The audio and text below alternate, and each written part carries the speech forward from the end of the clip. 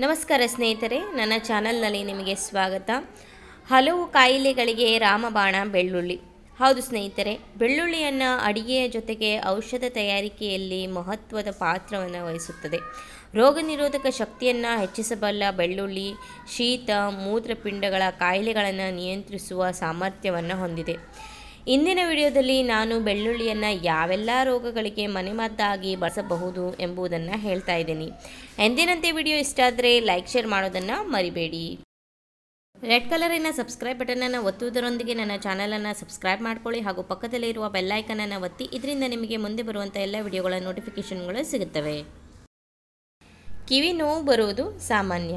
ಕಿವಿ ನೋವು ಬಂದಾಗ ಬೆಳ್ಳುಳ್ಳಿಯ ಒಂದು ಎಸಳನ್ನು ಒಂದು ಚಮಚ ಕೊಬ್ಬರಿ ಎಣ್ಣೆಯಲ್ಲಿ ಕರಿದು ಆ ಎಣ್ಣೆಯನ್ನು ನೀವು ಚೆನ್ನಾಗಿ ಕುದಿಸಿ ತಣ್ಣಗಾದ ನಂತರ ಕಿವಿಗೆ ಹಾಕೋದ್ರಿಂದ ನಿಮ್ಮ ಕಿವಿಯ ನೋವು ಬೇಗನೆ ಗುಣ ಆಗುತ್ತೆ ಅಜೀರ್ಣ ಹಾಗೂ ಹೊಟ್ಟೆಯಲ್ಲಿ ತೊಂದರೆ ಆದಾಗ ಬೆಳ್ಳುಳ್ಳಿಯನ್ನು ಬಿಸಿ ಬೂದಿಯಲ್ಲಿ ಸುಟ್ಟು ತಿನ್ನೋದ್ರಿಂದ ಅಜೀರ್ಣ ಅಥವಾ ಹೊಟ್ಟೆಯಲ್ಲಿ ಆದಂತಹ ತೊಂದರೆ ಗುಣ ಆಗುತ್ತೆ ಒಂದು ಟೀ ಚಮಚ ಬೆಳ್ಳುಳ್ಳಿಯ ರಸವನ್ನು ಅಷ್ಟೇ ಪ್ರಮಾಣದ ಜೇನುತುಪ್ಪದೊಡನೆ ಸೇರಿಸಿ ಸೇವಿಸೋದ್ರಿಂದ ಜಂತು ಹುಳುಗಳು ಮಲದ ಮೂಲಕ ಹೊರಬೀಳುತ್ತವೆ.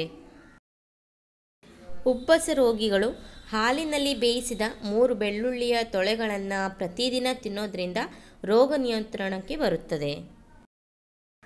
ಹೆಣ್ಣು ಮಕ್ಕಳಲ್ಲಿ ಮುಟ್ಟಿನ ದೋಷವಿರುವುದು ಸಾಮಾನ್ಯ.